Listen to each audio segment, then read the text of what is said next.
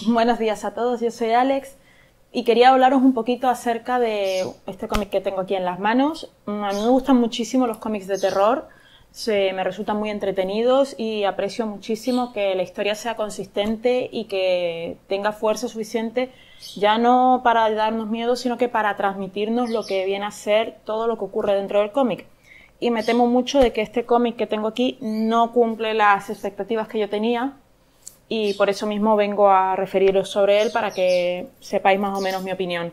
Este cómic lo compré porque se lo, se lo vi recomendar a una booktuber, me gustó mucho su reseña y pensé que era lo que yo buscaba pero luego cuando lo empecé a leer me temo de que se me queda completamente corto. Mm, siento que los diálogos son un poquito inconexos, que la historia le falta fuerza, el concepto de la historia es muy buena, eh, se trata de una protagonista que puede ver unos seres que hay en otra dimensión que se alimentan de nuestros miedos y lucha contra ellos.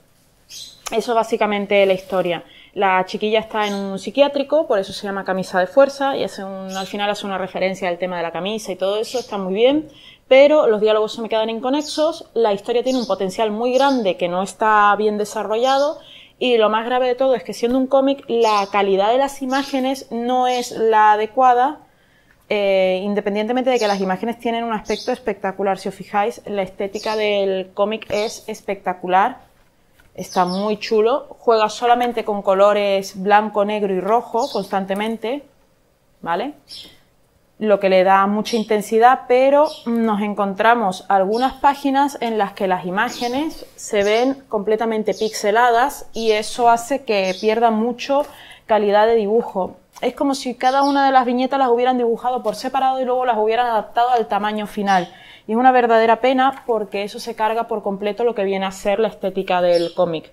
Entonces, eh, los diálogos me parece que se quedan cortos, la estética del cómic en sí eh, tiene un potencial muy grande, pero no está bien desarrollado, igual que la historia, y eso hace que mi, mi sensación con el cómic no haya sido la adecuada. La encuadernación es buena, eso es algo positivo siempre, tiene una buena pinta como para poder regalar, no es un cómic demasiado caro, sale a 16 euros, o sea que no es tan terrible, pero mi sensación final después de leerlo ha sido que no vale el dinero que te cobran, ya que la calidad de la ilustración no está a la altura y el desarrollo de la, de la trama no está a la altura de la historia. La historia tiene un potencial muy grande y creo que esto ya lo he dicho tres veces.